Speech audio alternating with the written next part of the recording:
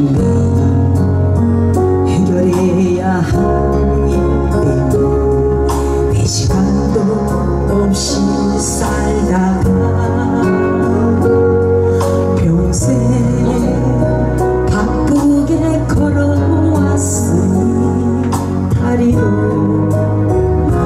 아픕니다.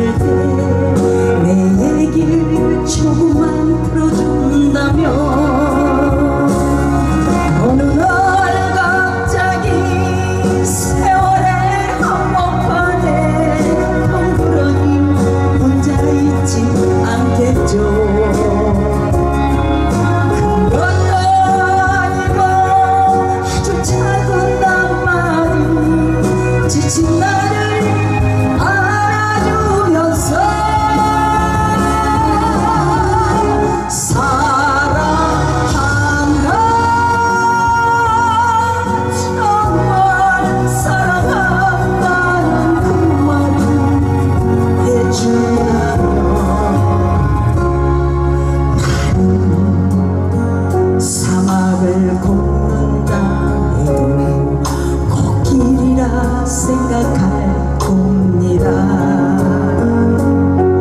우리 늙어가는 곳이 아니라 조금씩 익어가